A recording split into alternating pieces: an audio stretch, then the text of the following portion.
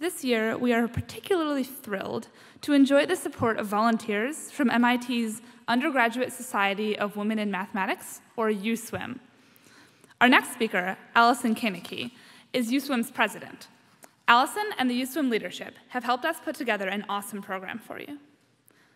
Allison is a current MIT senior and was a contestant in the very first Math Prize for Girls event in 2009.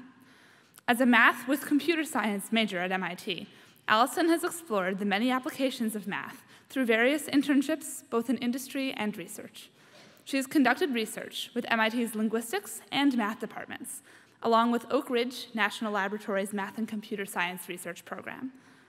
Additionally, Allison has worked as a data scientist at a startup, obtained a work fellowship at a German conglomerate, and interned as a researcher at the top economic consulting firm in the nation. The one constant she has found through these work experiences is that math is an indispensable tool in all work that interests her. Please welcome Allison Koenecke.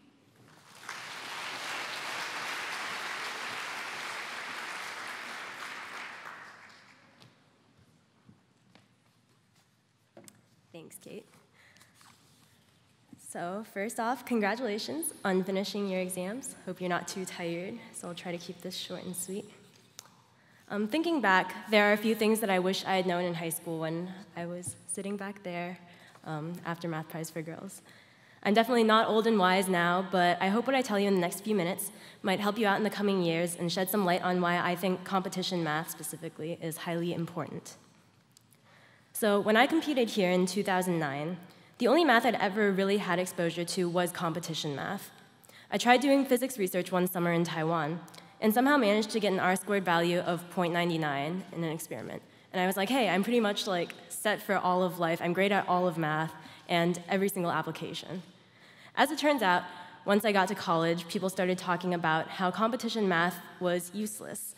That type of quick on your feet math wasn't used in pure math research or any proof-based classes. Most applied math was done conjointly with coding, which isn't tested in competition math.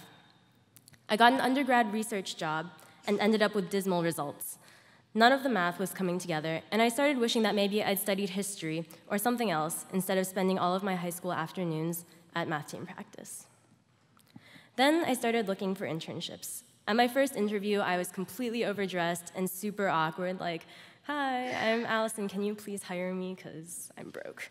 So, I'd heard that this particular company's interview questions were very technical and difficult, but I hadn't really studied much for it since I had spent the entire past evening uh, doing a math problem set for school. So after the first minute of canned introductions, she started quizzing me. And she asked, what is the probability that you roll two fair dice and the sum of their faces is seven? And I literally sat there with my mouth open, like I thought she was joking and started laughing. Obviously, from our math background, we know that one-sixth is trivial to find, but this was a legitimate question that they used to see if applicants were capable of working there. In later rounds of interviews, the questions got harder, but still held on to a common theme. Almost all of them were derived from concepts that I'd learned in competition math. Overall, as it turns out, companies will recruit from specific departments. So the computer science majors are recruited for coding, biologists for lab jobs, economists for finance, mechanical engineers for design. But People who know math can do any of these things, since the traits that employers look for are things that you've learned and honed in doing things like Math Prize for Girls. Competition math teaches you to think quickly under pressure. You're forced to think outside the box to find a more elegant solution. It teaches you very distinctly that perseverance pays off, and you learn humility from the problems that you end up solving incorrectly. You get fast and you get good at what you do. And so you know better than most that when the clock's ticking down and you're only halfway through solving a problem, you don't just give up. You work through the rest as fast as you can, and you do your best at giving a reasonable, intelligent answer. And this could not be more useful in a time-sensitive environment. Furthermore, you know the importance of self-learning. You could not have made it to Math Prize for Girls without studying extra on your own. And very few people are capable of doing this effectively, and learning how to learn puts you one step ahead of your own game. These aren't just traits that employers value. These are things that better you as a person, and they make you more efficient and more learned. And so after doing more interviews and learning more competition-type math along the way, I was glad to find that my skills weren't going to waste. and that I was still able to develop them. But my research results were still pretty terrible, so I ended up going to an undergraduate math event on student research at MIT. It was held by the Undergrad Society of Women in Math, and that's how I accidentally got sucked into the organization, which I can now call my second family. It was with them that I learned that every person has a metaphorical toolbox. It contains the tools that you can pull out and use at any point in life. I had competition math as a tool already, but was starting to accumulate more research methods, coding, economics. So through USWIM, I gained even more tools, such as communication and confidence. USWIM is a wonderful source of female role models and peers who helped me develop as a person.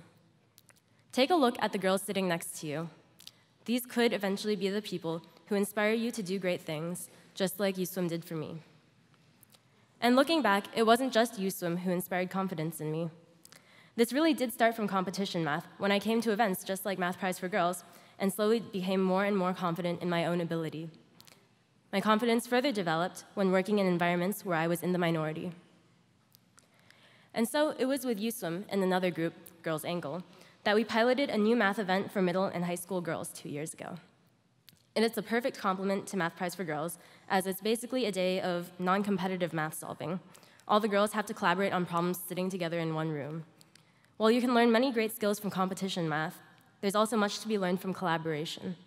So that's where my competition math took me to today, pretty much the complete opposite, all while using the skills I gleaned from things like Math Prize for Girls.